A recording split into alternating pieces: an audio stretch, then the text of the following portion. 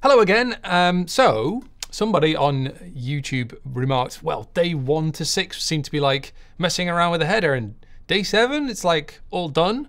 Um, actually, you're not far wrong. I mean, there was a lot of setup for it, um, but actually, the styles that got onto the page were done uh, pretty quickly. Uh, it was just a lot of flexbox, and not actually that interesting. There's no, there wasn't actually a bunch of challenges in there, so it didn't really make much sense to kind of uh, record entries for that. But as you might recall, um, we've done all the accessibility stuff, at least for the static version, and the next step is to now go into progressive enhancement mode.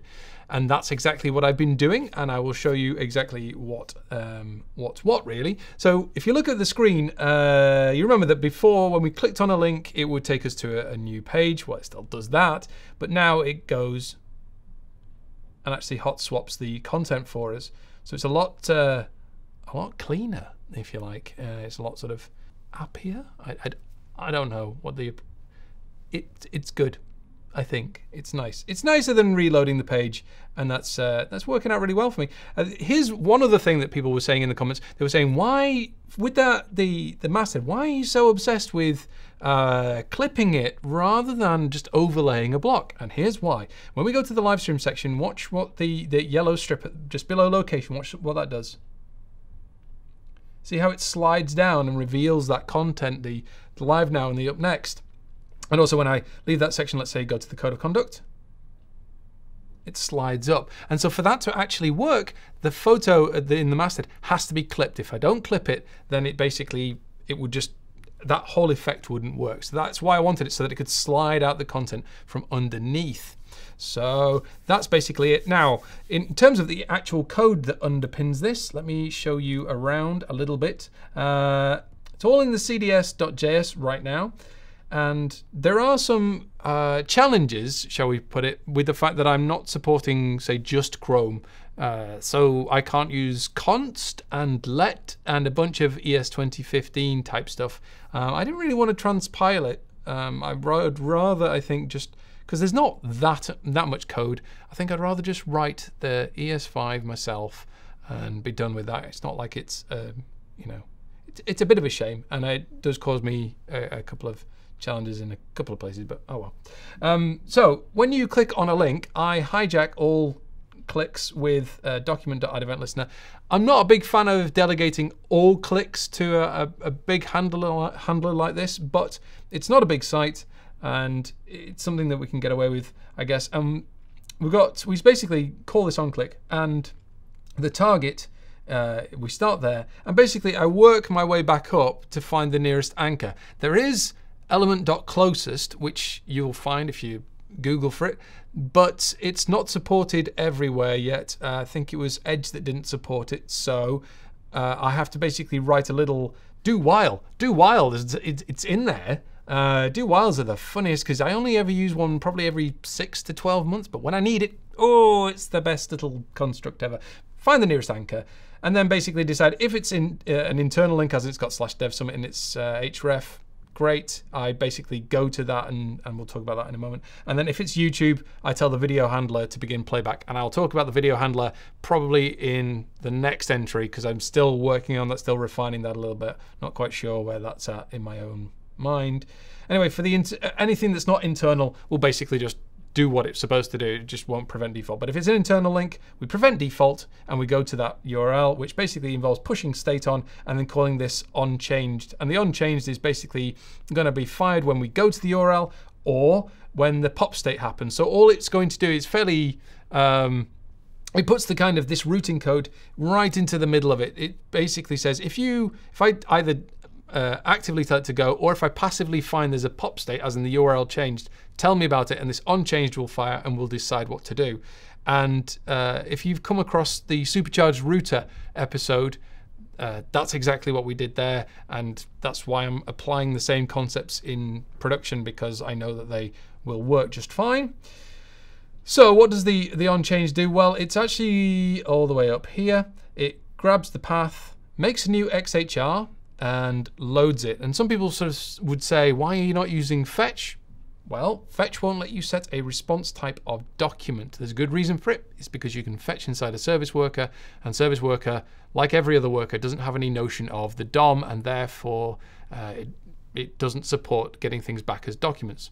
So I have to make a request uh, as an XHR. I don't have a problem with that personally because XHRs are still completely valid. They're not deprecated. Uh, okay, they don't um, they don't return a promise, but that's okay. I can live with that. And so we, we basically load the uh, whatever it was that you were going to, whichever page you were going to. Uh, we update the nav, and then um, I'll show you the small player. Oh, there, there's a fun thing. Um, maybe I'll leave you a little hint of that at the end of this. Right, the onload, uh, what we do is we hide and swap area contents. So that's the bit where everything kind of fades out. So let's do, let's head down there. Uh, la la la. Yeah, I'm basically going to watch the masthead graphic transition out. So the masthead graphic uh, is the longest running of the fade out. So I basically apply this hide areas class to the body and underneath in the styles, let me show you the masthead styles since we're here. La, la, la. Uh, masthead inline. Uh, there we are if if the, the page is animatable and I have a separate class for switching on and off animations, uh, and I've told you to hide areas, then the masthead graphic should turn to opacity zero, and it should take half a second to do so.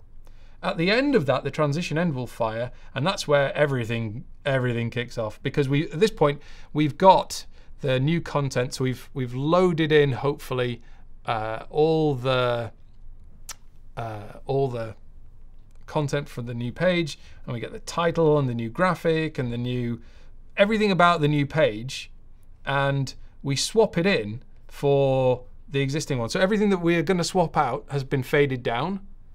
We all we swap everything out, and then we basically wait a couple of frames, and that's a, it's a a slightly bizarre technique, this one. Because the event could fire somewhere in the middle of the frame, you actually want to typically wait two frames. So you wait for the start of the next frame so that anything that's pending happens.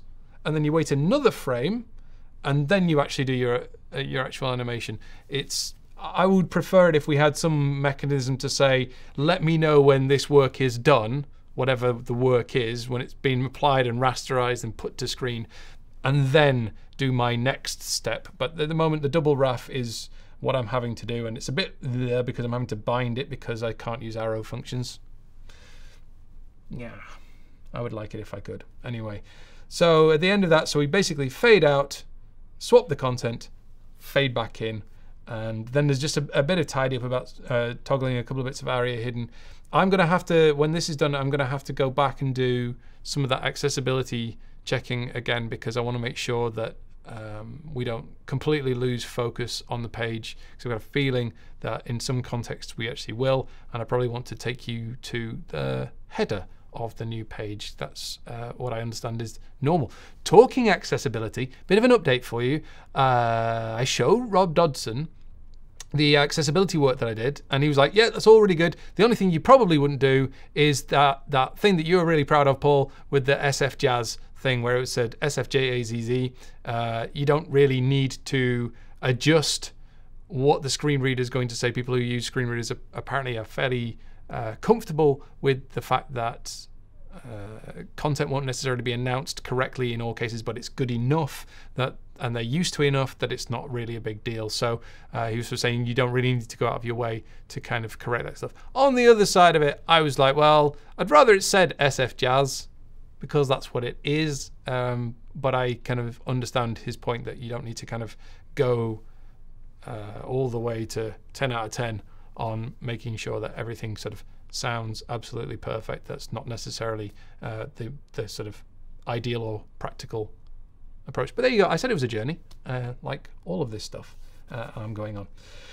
So that's uh, essentially what we're doing right now for uh, the hot swapping of sections. At least on desktop, it's uh, nice and fast. Let me show you a timeline profile. schedule and and so you've got this animation out here. So you basically, this is the click handler here. And then we have an animation out with admittedly one long frame in there. Then this is the swap over section here.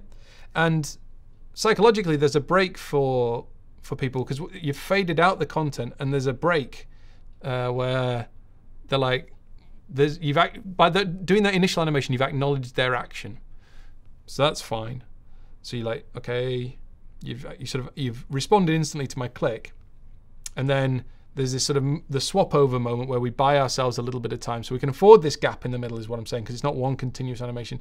And then the secondary animation where it's coming back in again very similar couple of long frames not disastrous but broadly very convenient. And um, i'll say convenient broadly very performant and the reason it's performed is because i'm sticking to opacity and transform which if you've followed any of the supercharged videos is something that Surma and I talk about very often.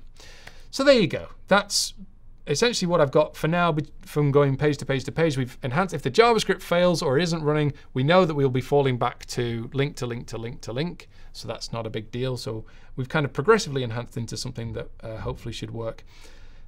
That's it for now. I will quickly show you the video stuff. Let me mute my, my screen there. So this is what we got. And if we, at the moment, if we go to a different section, it goes down to a small video in the corner so you can continue watching. And um, if you go into say another another thing with another video and you click on that, then it replaces it. And then blah, blah, blah. And if you go back into, let's say go back, it brings the video back up uh, to full screen if you go back to the place where the video originated. More of that in the next video about the videos. Right, check out the code. Subscribe if you haven't already. Um, keep on commenting. Keep on saying hello. Keep on throwing in your ideas and suggestions. I do really appreciate them. They're, they're often very good, uh, and uh, it's lovely to read them all. So thank you for that. And I will catch you in the next entry. Toodaloo.